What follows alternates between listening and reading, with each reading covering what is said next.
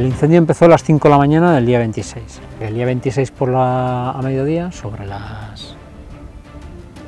yo creo que eran ya más de mediodía, es cuando ya se, se, alertó, se hizo, eh, se puso el, el Platecán en el, número, en el alerta 2, con lo cual ya se podía llamar a la UME, y la UME cuando vino ya trajo maquinaria pesada y ya es cuando pudieron meterse... No, ahora están retirando todo el material contaminado, todo el, todo el, todo el lodo, toda la tierra que estaba en la, sobre la torrentera está contaminada, pinturas, disolventes, aceites, etcétera. Todo esto, eh, además, suelen ser productos insol- eh, insolubles, se han depositado en la tierra en las ar- y son arcillas, con lo cual eh, está todo contaminado y lo tienen que retirar. Aquel líquido que se ve, sí, aquello es parte del, todavía del, del vertido de productos peligrosos.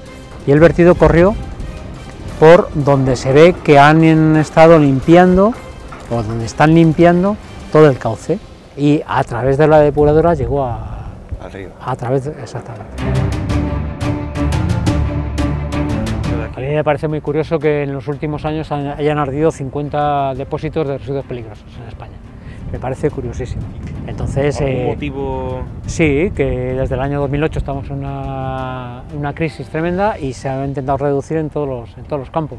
Y uno de los campos donde más se ha reducido es en el medio ambiente. La legislación es algo que hay que cambiar inmediatamente. Mientras hagamos negocios de este tipo de, re- de, de productos, pues eh, estamos abocados a este tipo de soluciones. ¿no? Yo trabajo en una empresa privada y mi objetivo es eh, tener beneficios. Con lo cual, esto es igual. Si eres poco escrupuloso, tienes que tener beneficios. Como sea. Cada uno tiene su ética. Ya te digo, son 50. Creo que son 50 en los últimos años empresas de residuos las que se han visto abocadas a estas situaciones en mayor o menor gravedad.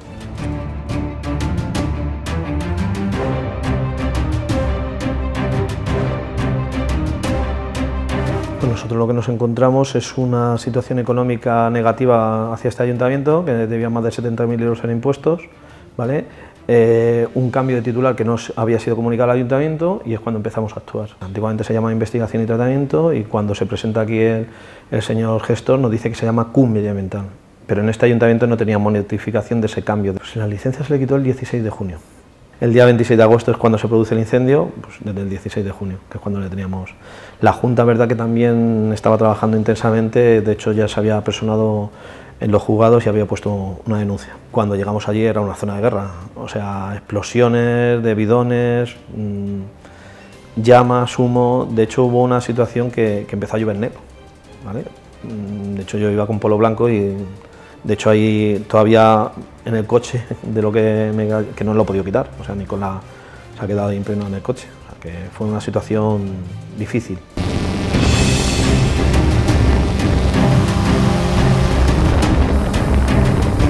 Eh, los datos que teníamos no sabíamos dónde estaba el señor, había información en los primeros días que estaba en Rusia, los responsables no se... no se ha sabido nada, pero por lo visto se presentó ayer en las instalaciones. Señor. Anteriormente sí lo sé yo que se había presentado un responsable de la empresa con, una- con un perito, perito de los seguros, ¿vale? Y le echaron el alto allí y no dejaron, las instalaciones, te puedo asegurar que estás allí huele. Ahora, lo que se ha, se ha retirado mismo dentro de las instalaciones ha sido toda la chatarra no contaminada, para entendernos, se ha blancado aquí, se lo van a llevar gestores, pero como hay tantísima, porque hay, es espectacular lo que hay allí, ¿vale? Y ahora ya dentro de lo que son las instalaciones ya se ha quedado el producto, para entendernos, más difícil de clasificar, ¿vale? más difícil de reciclar.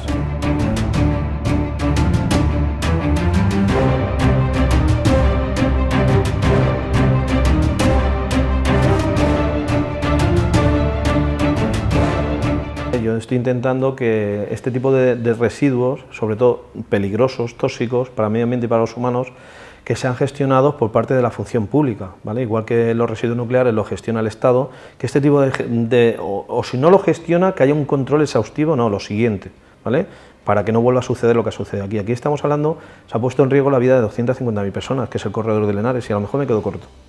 Eh, vamos a ver, yo he cerrado ya una planta de neumáticos antes que esta inclusive, que tiene más de 50 toneladas de neumáticos y no tenía ni un extintor. O sea que las 50 toneladas de neumáticos siguen allí, ¿eh? O sea, no se han retirado todavía. O sea, estamos en el mismo caso que Q, nada más que con neumáticos.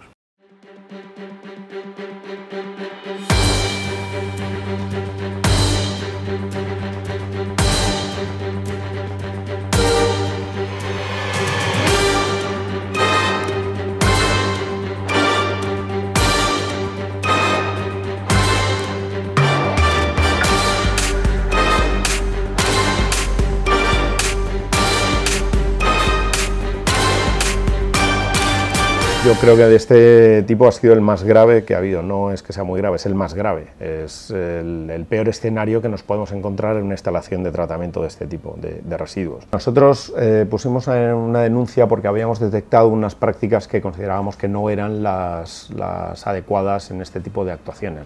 Que lo que hacían era mezclar residuos peligrosos, eh, que eran unas aguas con disolventes, con residuos no peligrosos. Esto lo hacían para luego colarlos en vertederos de, residuos inertes. Lo que hicimos fue eh, ya el invierno pasado o a finales del pasado invierno le, pues decidimos contratar a un detective privado que lo que hizo fue hacer un seguimiento de qué es lo que estaba haciendo esta empresa. Bueno, la motivación para hacer este tipo de prácticas es económica. Pongamos por el caso que el, precio medio a lo mejor de una tonelada de un residuo peligroso de las características que estaban aceptando, pues podía andar del orden de los 100 euros tonelada, pues esta empresa con ese tipo de tratamiento que había diseñado, pues a lo mejor podía tener un coste de tratamiento de 30 o 40 euros, como mucho.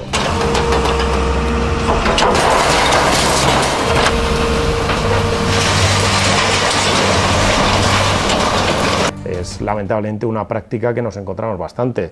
El, como decía antes, el, pasar una obligación de una empresa privada, una obligación económica de una empresa privada, trasladarla de alguna forma al, eh, pues a todos nosotros, al sector público.